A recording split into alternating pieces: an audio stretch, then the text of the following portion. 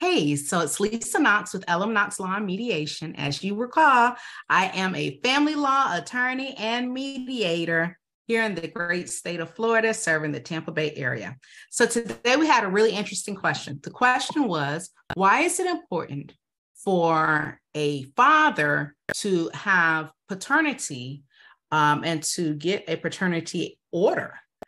And the answer is really interesting. Here in the state of Florida, if a child is born out of wedlock, meaning mother and dad are not married, then the father needs to file for paternity action so that the court can legally recognize the child as his and so that this, the court can bestow parental um, rights and responsibilities on fathers. So, for instance, if father signs the birth certificate, technically he's the father of the child, However, that does not give him any decision making authority, nor does it give him any time sharing schedule, nor does it give him any responsibilities um, for anything else as far as deciding extracurricular or so forth and so on. However, understand this avoiding a paternity action does not keep uh, the courts from saying that you're not financially responsible for the child. So you could actually not have a paternity action,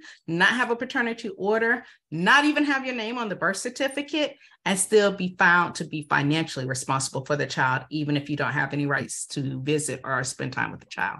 All right, this is Lisa Knox answering your questions, hopefully giving you a little bit of step by step information. Remember, it's not legal advice.